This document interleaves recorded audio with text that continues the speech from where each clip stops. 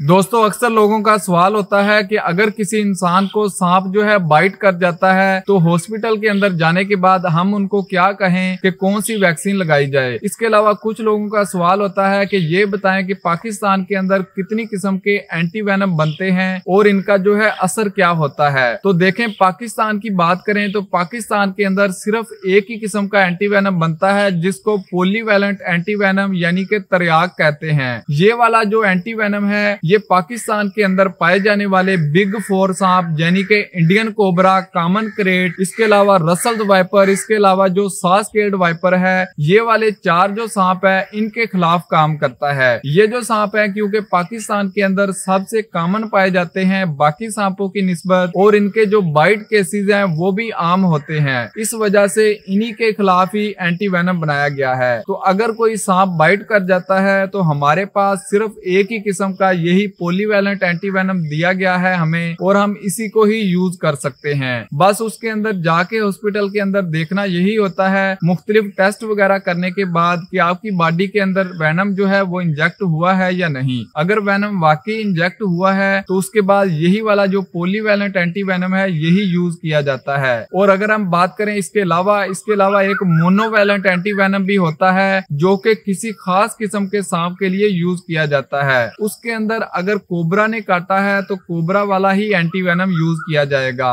तो उसमें ये इश्यू आ जाता है कि अगर वो वाला बन के हॉस्पिटल के अंदर प्रोवाइड कर दिया जाए तो फिर जब किसी को सांप जो है बाइट कर ले तो हॉस्पिटल के अंदर जाने के बाद उसको लगाने से पहले डॉक्टर्स को ये पता होना चाहिए कि इस बंदे को कौन से वाला सांप काटा है। क्योंकि अगर उसको नहीं पता होगा तो मिसाल के तौर पर उस बंदे को कोबरा सांप ने काटा है, और जो एंटीवेनम है वो क्रेट वाला लगा दें तो उसके अंदर जो है फ़ायदा होने की बजाय उल्टा जो है नुकसान होगा। अब यहाँ पर जैसे रशियन कोबरा भी पाया जाता है तो रशियन कोबरा के खिलाफ क्योंकि हमने एंटीवेनम नहीं बनाया तो अगर वो बाइट कर जाता है तो उस पर जो है ये वाला एंटीवेनम जो है अगर हम लगा देते हैं, थोड़ा बहुत उसका फ़ायदा हो जाता है, लेकिन हंड्रेड परसेंट जो है सही तरीके से रिकवर नहीं करता। बाजुकात इलाज करवाने के बाद भी बंदे की डेथ हो जाती है। अगर हम ईरान की बात करें तो ईरान के अंदर मोनोवैलेंट एंटीवेनम तो नहीं, लेकिन हेक्सावैलेंट एंटीवेनम बनाया जाता है, जिसके अंदर वहाँ पर पाए जाने वाले छह किस्म के जहरीले सांपों के खिलाफ वो काम करता है। उन छह सांपों की बात करें तो उनके अंदर एक है सासकेड वाइपर, एक है ब्लंट नोज़ वाइपर, एक है पर्शियन हॉर्ड वाइपर, एक है रशियन कोबरा, जो पाकिस्तान के अंदर भी पाया जाता है। इसके अलावा एक है जिग जैग माउंटेन वाइपर और इसके अलावा एक है साइबेरियन पिट वाइपर। ये छह सांप इनमें से कोई भी काटेगा तो वो वाला एंटीवेनम यूज़ किया जा सकता है। तो यहाँ पर यह भी इशू आता है कि मिसाल के तौर पर अगर कश्मीर के सांपों को कलेक्ट करने के बाद एंटी वेनम बनाया गया है तो बलोचिस्तान में किसी को सांप बाइट कर जाता है तो वो वाला एंटी वेनम अगर यूज़ करें तो बाजुकात ये होता है कि वो उस पर सही तरीके से रिकवर उसको नहीं करता। तो इसलिए ज़रूरी है, अगर हंड्रेड परसेंट हमने रिकवरी करनी है तो उसमें अगर बलोचिस्तान के हॉस्पिटल के अंदर हमने एंटी वेनम प्रोवाइड करना है तो वहाँ के एरिया से ही सांपों को कलेक्ट करने के बाद उन्हीं का ही एंटीवेनम बनाकर दिया जाए। उससे जो है हंड्रेड परसेंट जो है रिकवरी हो जाती है। अगर हम इंडिया के अंदर बात करें तो इंडिया के अंदर भी जो हम यूज़ करते हैं पोलीवैलेंट एंटीवेनम वही वहाँ पर भी यूज़ किया जाता है। वहाँ पर क्योंकि किंग कोबरा भी पाया जाता है तो पुराने जो रिसर्चर्स हैं या पुराने साइंटिस्ट हैं, उनके मुताबिक ये था कि किंग कोबरा जो है, इसका जो वैनम होता है, जो पाकिस्तान में पाया जाता है इंडियन कोबरा इसकी निस्बत जो है थोड़ा सा वीक होता है, सिर्फ़ वो इसके बराबर या इससे ऊपर इस वजह से चला जाता है क्योंकि किंग कोबरा जब बाइट करता है, वो 300 से लेकर 400 मिलीग्राम तक वैनम इंजेक्ट कर देता है। तो उसकी वैनम की मिकदार ज़्यादा होने की वजह से उसकी जो टॉक्सिसिटी है, वो ज़्यादा हो जाती थी। लेकिन यहाँ पर रिसेंट रिसर्च के मुताबिक उसका जो वैनम है, वो भी हमारे जो पाकिस्तान में भी पाया जाता है, इंडियन कोबरा, उसके तकरीबन बराबर ही जहरीला है। तो इंडिया के अंदर उसके खिलाफ काम करने के लिए किसी भी किस्म का एंटी वैनम नहीं बनाया जाता। हाँ उसके अलावा अगर हम थाईलैंड की बात करें तो थाईलैंड के अंदर किंग कोबरा के खिलाफ काम करने के लिए मोनोवेलेंट एंटीवेनम बनाया जाता है, जो कि अगर हम थाईलैंड के अंदर यूज़ करें या मलाइशिया के अंदर यूज़ करें तो उन दोनों कंट्रीज़ के अंदर तो वो सही तरीके से वर्क कर जाता है। लेकिन उसको अगर हम इंडिया के अंदर इम्पोर्ट करें तो वहाँ पर कई बार चेक किया गया है कि वहाँ पर जो एंटीवेनम मंगवाया गया है किंग कोबरा की बाइट करने के बाद वो वाला सही तरीके से काम नहीं करता। तो इसका मतलब है कि सांप जिस कंट्री के अंदर होगा,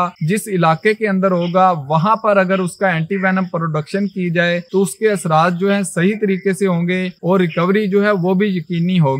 मोनोवैलेंट एंटीवेनम की बात करें तो हमारे ना तो पाकिस्तान के अंदर बनाया जाता है, ना ही ईरान के अंदर, ना ही इंडिया के अंदर। बाकी जैसे मैंने बताया, थाईलैंड के अंदर बनाया जाता है। इसके अलावा यूरोपियन कंट्रीज़ के अंदर या अफ्रीकन कंट्रीज़ के अंदर, जैसे बुम स्लिंग वगैरह हो गया या फिर ब्लैक माम्बा वगैरह तो उनके खिलाफ काम करने के लिए मोनोवैलेंट एंटीवेनम बनाया गया है। वहाँ पर क्योंकि उनका जो स्टाफ होता है या डॉक्टर्स होते हैं, उनको इतना पता होता है कि किस किस्म का सांप जो है बाइट करके गया है। लेकिन पाकिस्तान के अंदर यही इशू है कि जो डॉक्टर्स होते हैं, वो दो दो काम एक साथ नहीं कर पाते। यानी कि अपने हॉस्पिटल के अंदर जो अपनी एक्सपर्टीज है, उनको यूज़ करने के साथ साथ इस तरह की वाइल्ड लाइफ जो है, उनके अंदर भी थोड़ी बहुत एक्सपर्टीज हासिल करें कि सांप कौन सी किस्म का हो सकता है। यानी कि वो ये देखें कि उस विक्टम पर असरात किस किस्म के हो रहे हैं और उनको देखते हुए फिर ये जज करे कि कौन सा सांप जो है बाइट कर गया है।